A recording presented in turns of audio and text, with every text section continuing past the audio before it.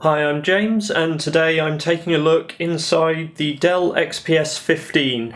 This is the latest model, which has the very high resolution 3200 by 1800 screen. And for this, we need a Torx T5 screwdriver, a regular small crosshead screwdriver, and we'll also be using a small plastic pry tool. So we start by removing the 10 Torx screws from around the outside edge of the chassis. And with these you want to be careful to avoid damaging the heads of the screws, um, so make sure the drive screwdriver is pushed in correctly and that you're not slipping or risking rounding the heads of the screws.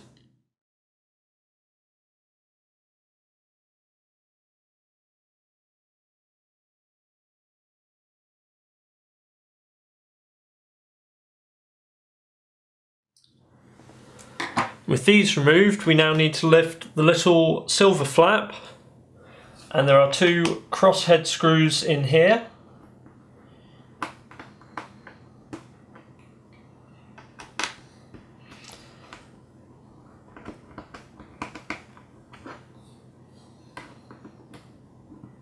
So we don't need to remove those, we just need to loosen them.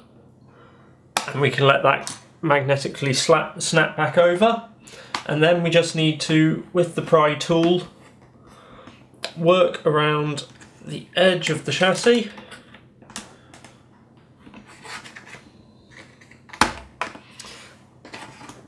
And by pulling up on this, this one's actually already been opened up once before which makes things a little easier. But by lifting and pulling with that and with a little persuasion this brings off the back of the laptop.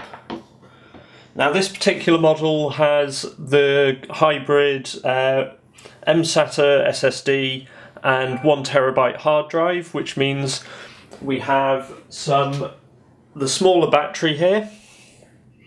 Um, we also have 16 gigs of memory with two 8 gig DIMMs here. These can be easily accessed and removed as so if they need replacing. Um, ultimately with the machine already shipping with 16 gigs of memory it's unlikely that you're going to want to move remove them but it is an option there.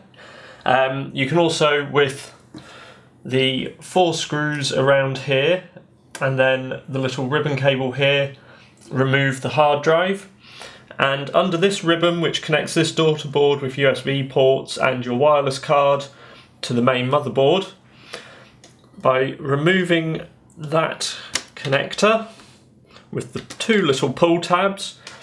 Underneath we find the mSATA SSD. Uh, so you could replace this if say you wanted to convert this machine to have a larger 256 or 512 gigabyte SSD. So we could have a larger dedicated SSD drive and a large storage drive or remove the large storage drive and fit the full size 90 watt hour battery. We also over here have the cooling for the GeForce GT 850M, no 750M sorry graphics and for the quad-core i7 processor. These are both soldered down so there's not any great reason to remove these parts. However, if you did want to, the heatsink is a heat pipe which connects across both sides so you have to remove the six screws here. And at that point you can lift out the heat pipes or more likely if you need to replace the fans due to failure these are just held in with a couple screws on each one. Here and in fact just here on this one. Uh, and these can be removed to replace should the fan fail uh, we hope you've enjoyed this quick look inside the Dell XPS 15. It has to be said, it is a very nice laptop to use, and we hope this has been useful to you.